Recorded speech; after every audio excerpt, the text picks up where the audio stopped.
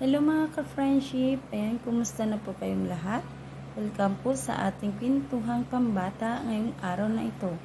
Thank you so much sa mga nanonood sa aking mga vlog at sana po may matutunan po din kayo. Before tayo mag-proceed, ayan, don't forget to subscribe my channel. Paki-like na din po at share. Click the, noti the notification bell para updated po kayo sa aking mga new video na i-upload ko. Shout out din pala sa aking mga friendship dito sa YT at sa legit viewers po at sa mga silent viewers din po. Ito na, pakinggan niyo po ang aking ihahandog na kwento para sa inyo na alam ko maraming mapupulot na aral dito.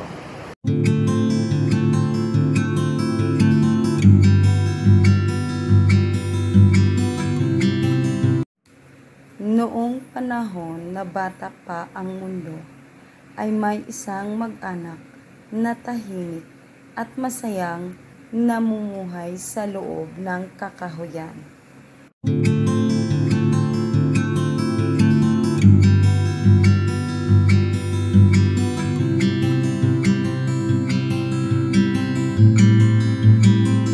Ang amang na si Roque ay mabait at mapagkalinga sa kanyang pamilya. Nagtatanim siya ng mga gulay at nanghuhuli ng mga hayop sa gubat upang kanilang pagkain. Samantalang ang ina naman na si Magda, siyang nag-aasikaso sa kanilang bahay at dalawang anak na sina Maria at Jose. Minsan, nagulat ang pamilya sa pagdating ni Roque mula sa mga pusang gubat nang ito ay maligaw. Inaalagaan nito ang pamilya.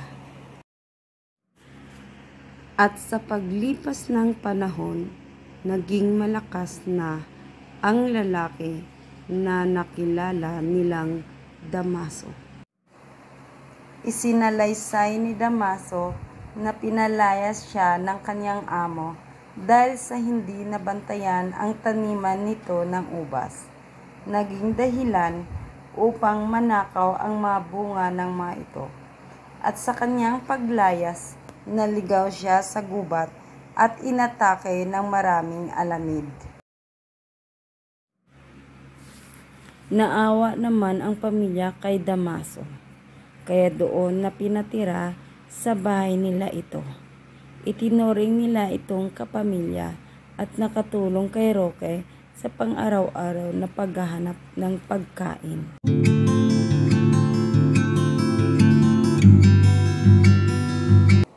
Ngunit, lingid kay Roque, may namumuong lihim na pagkagusto sina Magda at Damaso sa isa't isa. At isang araw nga, nagpasya sina Damaso at Magda na tumakas at mamuhay sa ibang lugar. Nag-iyakan ang dalawang batang sina Maria at Jose. Ina, wag mo po kaming iwan. Ang sabi ni Maria, Oo nga po, Mang Damaso. Wag niyo po kunin ang aming ina.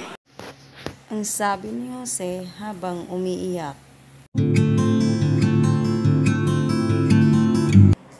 Ngunit hindi napigilan sina Magda ng kanyang anak. Sumakay pa rin sila ng bangka at umalis na kasabay sa agos ng ilog. Lalong nag-iyakan ang dalawang bata. Naisa nang magbago ng isip si Magda. Ngunit nanaig ang kanyang pagkagusto kay Damaso. Mula sa malayo, anong gulat ni Magda nang makitang nagtalunan sa ilog sina Maria at Jose upang humabol. Napatayo si Magda sa bangka dahil alam niyang hindi marunong lumangoy ang dalawang bata. Siyang pagdating ni Roque na agad ding tumalon sa ilog upang iligtas ang mga anak. Ngunit lumakas ang agos ng ilog at napailalim sa tubig ang mag-ama.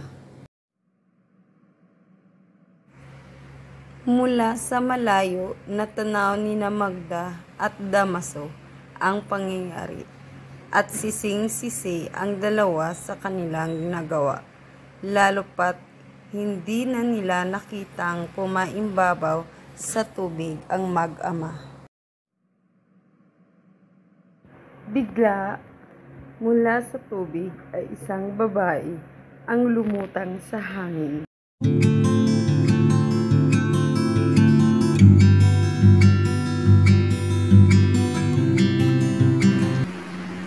Masahol pa kayo sa hayop dahil sa inyong makasariling pagnanasa ay nagawa ninyong saktan ang ibang tao.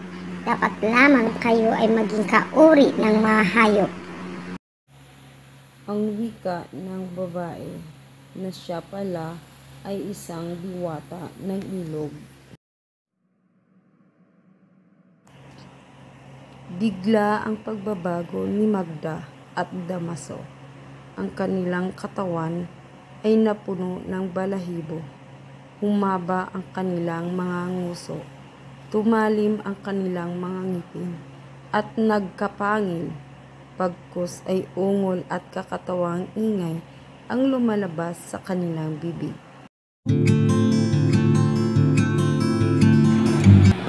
Manatili kayo sa ganyang anyo hanggat ikaw, Damaso, ay hindi natutong tumanaw ng utang na loob sa taong nagpapala sa iyo. At ikaw, Magda, hanggat hindi mo na ipapakita ang tunay mong pagmamahal sa iyong magiging mga anak.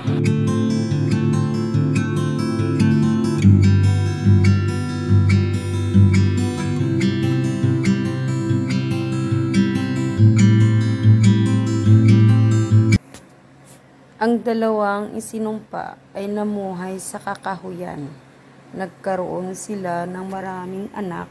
Sila ang unang angkan ng mga aso sa daigdig.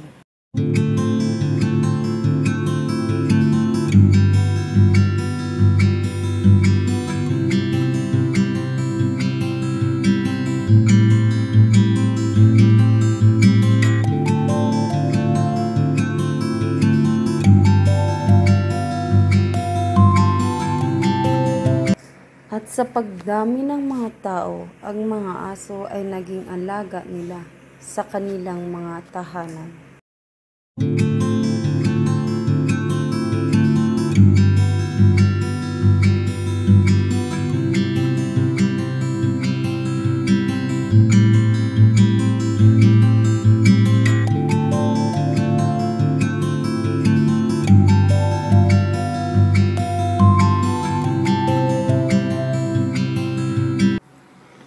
At hanggang ngayon nga ay pinatutunayan pa rin ng mga aso na sila ay tapat sa kanilang mga amo.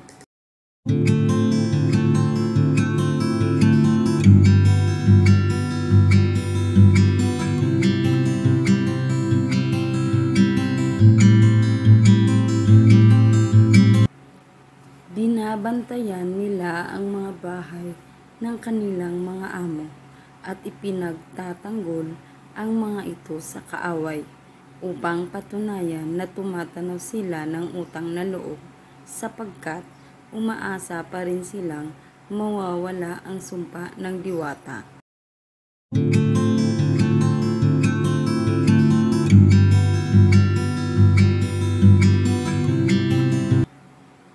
Ang mga inahing aso naman ay labis na binabantayan ang kanilang mga tuta upang sa ganon ay papatunayan ding marunong na silang magmahal sa kanilang mga anak.